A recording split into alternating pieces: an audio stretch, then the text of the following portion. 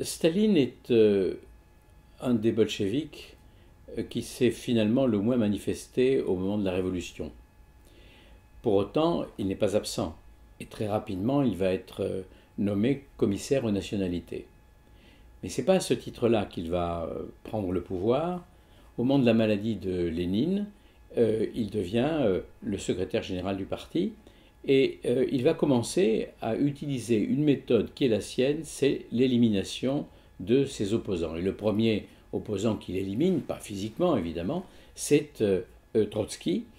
il va ainsi, peu à peu, faire le vide autour de lui et s'emparer d'un pouvoir qui va devenir de plus en plus absolu. Le pouvoir stalinien, ou ce qu'on a appelé le phénomène stalinien, est très intéressant à étudier. Lorsqu'il y a une révolution, ce qui confère la légitimité aux nouveaux euh, dirigeants, c'est le fait d'avoir participé à la révolution. Or, Staline va s'arranger, par de grands procès, à éliminer euh, la quasi-totalité de tous ceux qui pouvaient euh, lui faire concurrence du point de vue de la légitimité. Ce sera le cas de Kameniev, de Sinoviev et de bien d'autres encore. Et euh, il va faire monter dans l'appareil du parti un certain nombre de gens qui euh, devront leur pouvoir, alors plus de leur participation à la révolution, mais euh, tout simplement de Staline lui-même. Et ils sauront qu'il faut être extrêmement docile parce que sinon ils connaissent le résultat.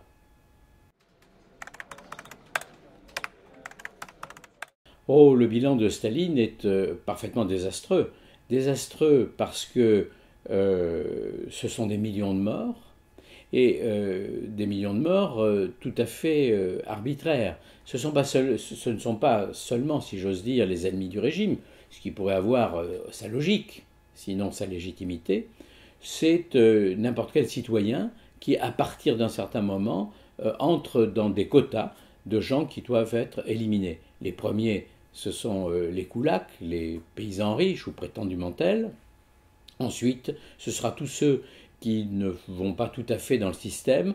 Et euh, dans ce cas-là, il n'est jamais question d'erreur. c'est systématiquement du sabotage, donc de la trahison, et c'est passible la plupart du temps du camp ou de la mort.